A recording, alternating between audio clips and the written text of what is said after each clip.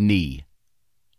In the study, Asymptomatic Knees and Osteoarthritis What to Make of Positive MRI Findings, the British Journal of Sports Medicine, June 9, 2018, 4,751 participants with a total of 5,397 healthy, non painful knees were analyzed based on MRI results.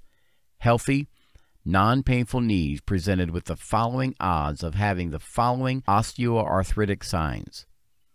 Chance someone will have any osteoarthritic sign? Less than 40 years old, 4 to 14 percent, and over 40 years old, 19 to 43 percent.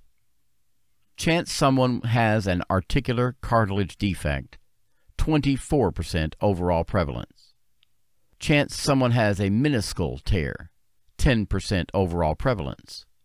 Chance someone has a bone marrow lesion, 18% overall prevalence. Chance someone presents with osteophytes, 25% overall prevalence.